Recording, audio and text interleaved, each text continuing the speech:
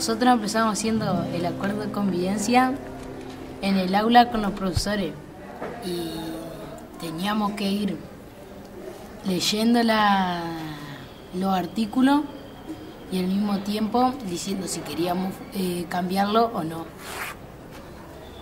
Y si se quería, y si los alumnos querían poner algo que no se debía, estaban los profesores para orientarlo, para aunque sea dar una, para dar una ayuda, por lo menos si querían usar short, pollera y todo eso le decían que no, porque en un momento se iba no se iban a estar peleando todo por por, cómo venía. ¿Y alguna reforma que te acuerdes que haya hecho? Ujú. ¿Se acuerdan? que había que cantar el- las canciones patria y la canción a la bandera se cantaba cuando estaba el profesor de música, acompañado por la guitarra, porque Porque el año nadie- pasado nadie cantaba, Ajá.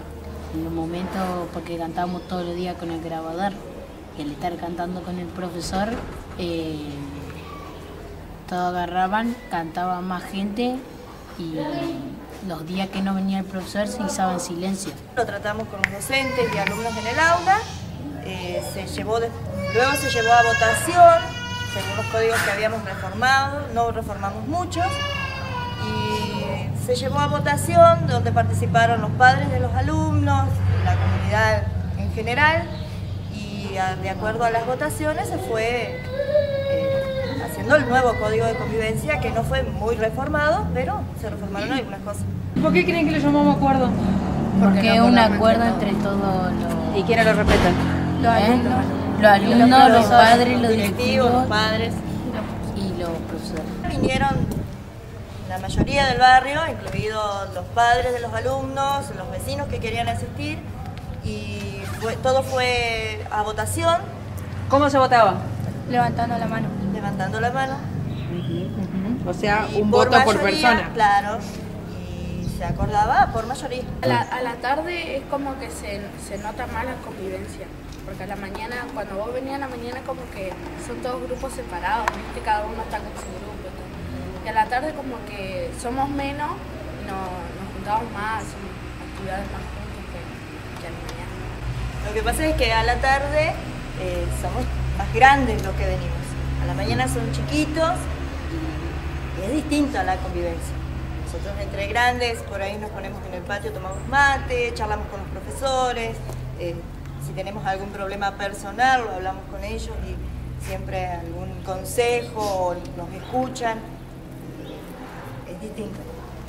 Y en la mañana la convivencia es como se espera más, más, Como ustedes, lo que ustedes ven, chicos. No, no, no. más desordenado. Son más chicos. A veces podemos estar y después a veces se pelean. ¿Y qué pasa cuando se pelean?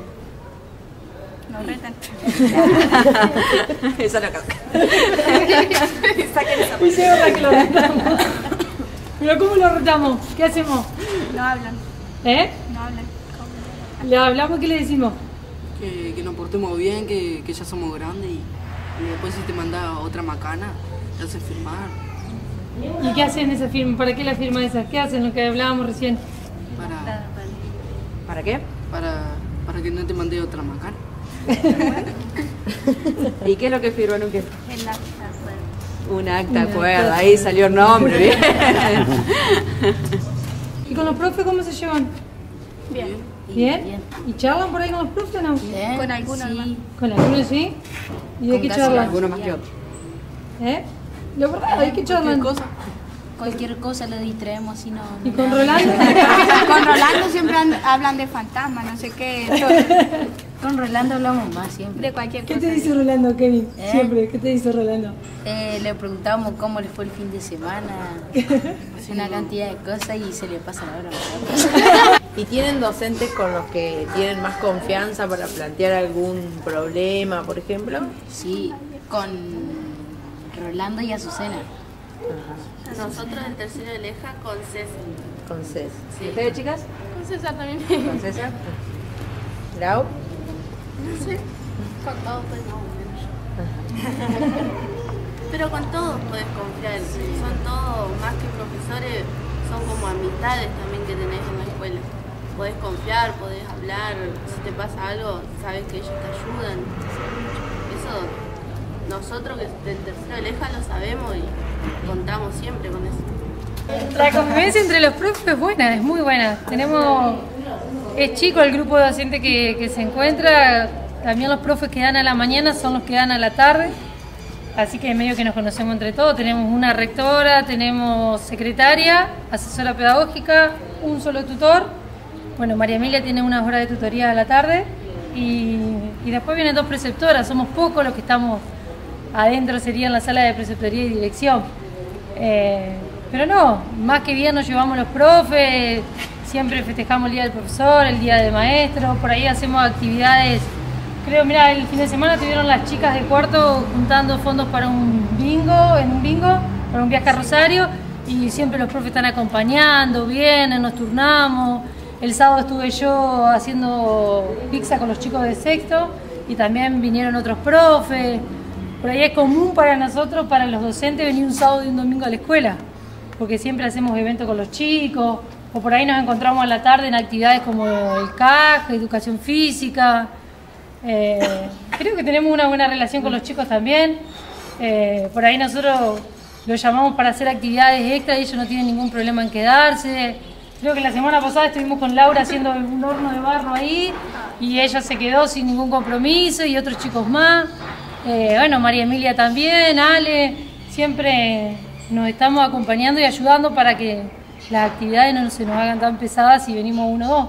Por eso creo que es bueno el trabajo en equipo que, que terminamos haciendo. También la relación, tenemos una, una, sola ordenanza que es María y la relación con María también es muy buena. Eh, para nosotros acá, bueno, Ale nos hace siempre sentir eso, que somos todos iguales.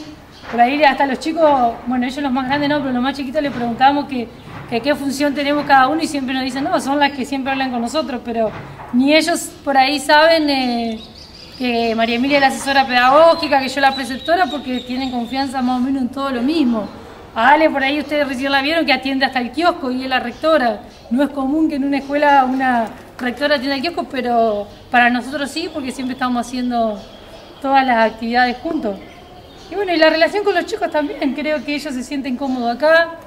Por ahí recién nos pasó tercer año que no quieren que le adelante las horas porque quieren estar acá adentro, porque no se quieren ir, porque tenés que hacer acuerdo de que, bueno, te adelantamos la hora, pero después hermano la canchita para que juguemos un rato al fútbol tenis.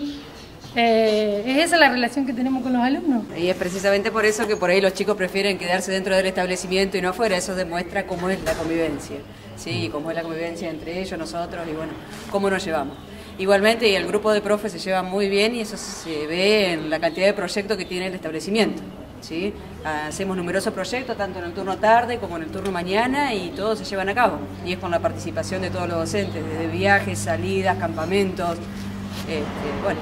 También está bueno decir que, bueno, de leja hay muchos que somos madres o tenemos hijos, por ahí otras actividades que eh, nosotros por ahí no podemos venir a todas las horas o, o tenemos que faltar por X motivo y, y, acá nos comprenden, nos ayudan, este, por ahí si no venimos a un examen, nos dan trabajos prácticos, cosas así como para, porque sabe, saben que aparte de la escuela tenemos otras actividades también.